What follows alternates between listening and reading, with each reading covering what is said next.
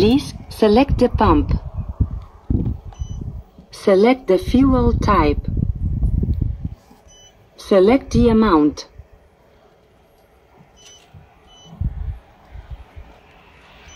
Press the green key to confirm.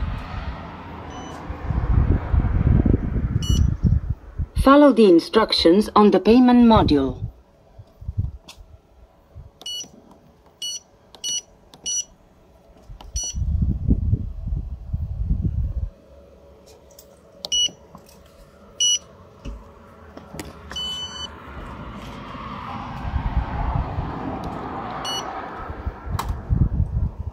Card accepted. You can proceed to refuel.